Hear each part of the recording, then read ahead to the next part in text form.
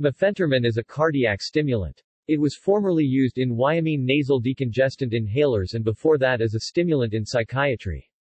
It has been used as a treatment for low blood pressure. ATC classification, C01CA11 mephentermine, belongs to the class of adrenergic and dopaminergic cardiac stimulants excluding glycosides. Used in the treatment of heart failure. Mechanism of action Mephentermine appears to act by indirect stimulation of beta-adrenergic receptors causing the release of norepinephrine from its storage sites. It has a positive inotropic effect on the myocardium. AV conduction and refractory period of AV node is shortened with an increase in ventricular conduction velocity.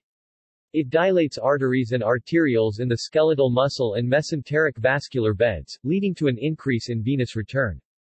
Onset, 5 to 15 minutes IM, immediate IV. Duration, 4 hours IM, 30 minutes IV.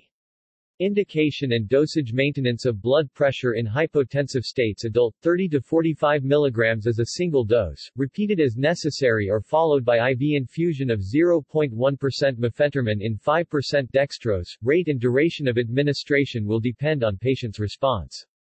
Hypotension secondary to spinal anesthesia in obstetric patients adult 15 mg as a single dose, repeat if needed, maximum dose 30 mg.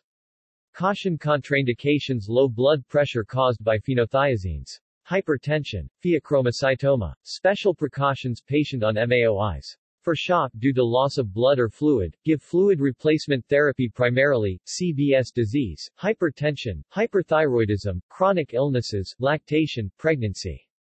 Adverse drug reactions drowsiness, incoherence, hallucinations, convulsions, slow heart rate, reflex bradycardia fear, anxiety, restlessness, tremor, insomnia, confusion, irritability, and psychosis. Nausea, vomiting, reduced appetite, urinary retention, dyspnea, weakness. Potentially fatal, AV block, CNS stimulation. Cerebral hemorrhage and pulmonary edema, ventricular arrhythmias. Drug interactions antagonizes effective agents that lower blood pressure.